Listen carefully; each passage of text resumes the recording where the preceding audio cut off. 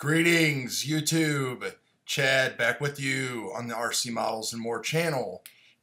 what we're going to be going over today is cinematic mode that has recently been added to the DJI Go 4 app.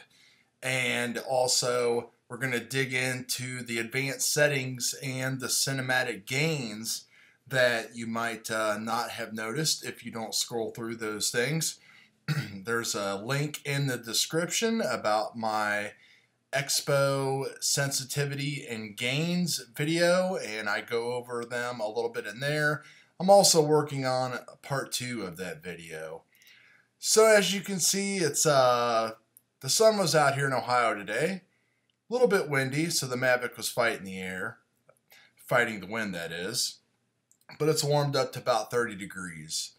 Our target is right there in the middle on the island. And right now, basically, I'm just flying a path and using my gains and gimbal speed that I've became comfortable with. And I'm just trying to do a circular pattern here, kind of like a quarter orbit, and keep the island in the middle of the of the screen to create a cinematic shot in a regular mode. So what we're going to do basically is fly back and forth a couple times and enter cinematic mode and then adjust the gains that cinematic mode has built into it to see what that does.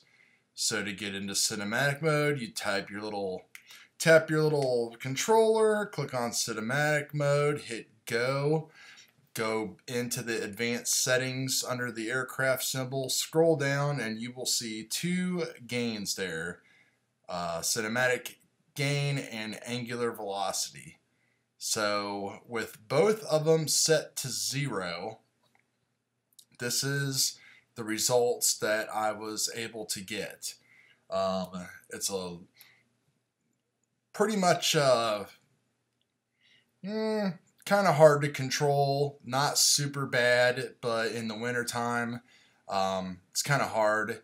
Um, the way cinematic mode works basically is you basically have the control to dumb down your yaw speed and your aggressiveness and sensitivity, which are separate gain settings that you can change inside the Mavic to fly that way um, all the time if you wanted to.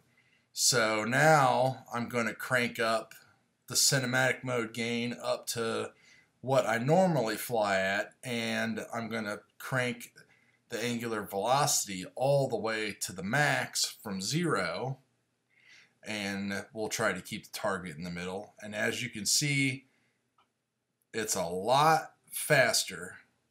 Um, you still get a smooth stop. It doesn't stop as abruptly, but the same distance on the sticks basically gives you a faster movement, hence the term angular velocity.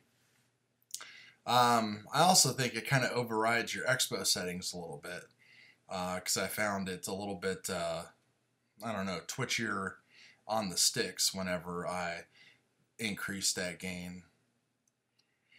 So we're just flying back here to an appropriate position and we'll go ahead and adjust the gains again.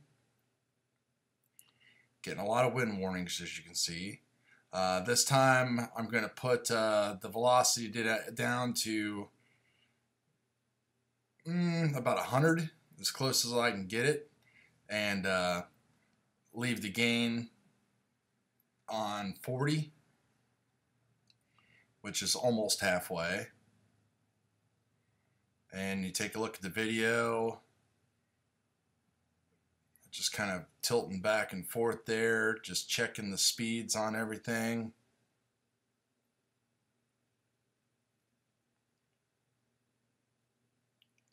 I really didn't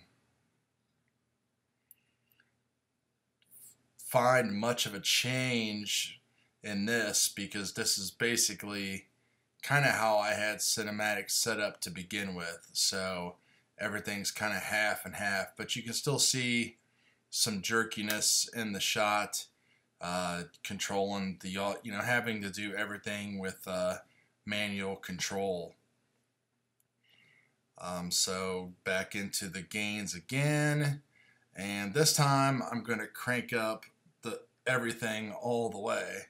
And you'll see the result in this is uh, really slow angular speed, but crazy yaw speed. So we don't want that at all. That's not going to help with cinematic speed. So that definitely is having an effect on our yaw movement limiter, which is in one of the advanced setting gains.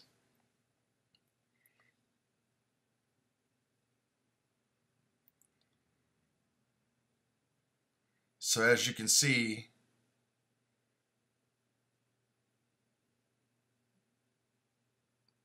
from what I'm doing as far as changing everything is the lower these levels, the slower the yaw, the slower the actual aircraft is going to react to the sticks and a little bit more control that you're going to have. So it's definitely what I like to call a style mode. So you're basically just going to have to play with it as much as you want to fit your flying style if you plan on using it at all. Um, I don't really personally find it very useful. I really don't find any of these uh, flight modes that useful. They're all really gimmicky to me. Um, I just honestly don't get it. I would like to see development go towards something else, that's for sure, instead of uh, something that's just uh, kind of useless. So, anyway, let's show a much easier way to get this shot. Um, let's just basically boot up to Litchi and show you if you've never used Litchi before, how easy it is to create this shot. So as you can see, basically I just had the aircraft still there and I just disengaged the DJI Go 4 app and engaged the Litchi app. No problem at all. It's not going to crash your Mavic or anything like that, but uh, don't do it unless you're comfortable. Uh, so first thing I did was just click on waypoints up in the left hand corner and then I clicked on the little teardrop and the drawing pencil and just drew a nice curve. Uh, this is just a basic simple thing so I'm just leaving all my altitudes the same. I clicked on the island uh, to create a focus point. Um, then I went into the mission settings here and set some basic stuff up. Just stop whenever you're done. Speeds are fine. Curves are fine. Um, point at, I want the gimbal to be controlled by the computer. And I want it to basically point at waypoint one uh, or I'm sorry, focus point one there during the entire mission. And then when as soon as that's done, uh, basically just to hit uh, the play button over here on the left hand bottom corner. And it's going to load the mission and start the mission now. And then you'll see down here in the right hand corner, you will see everything just kind of switch and I'm not going to switch this and put the, the video up. I'm just going to let it roll like this because you'll be able to, the whole point is just basically seeing how useful one is versus the other, not really comparing video quality, but why you would not want to just use this app and do this is beyond me. Why DJI does not put things like this into their app is beyond me. I mean, why have waypoints if you can't automate camera controls? Um, I just do not understand it. I mean, they must be getting a kickback from the third party developers or something. But anyway, you saw how easy it was to create the mission. It took basically less time than changing those gains.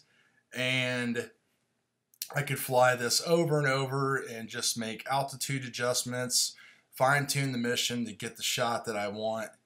And I can screen record at the same time. Imagine that. So that way I can come back and show everybody all the great stuff that the Mavic and these apps can do. Anyway, that's going to be it. Later.